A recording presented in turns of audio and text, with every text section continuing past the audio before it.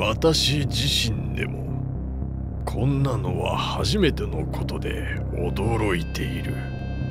あと1センチか。こんなそばまで災いを受けずに私に近づけた者はかつて誰もいなかったよ。確かに。あと1センチで何が起こるのか。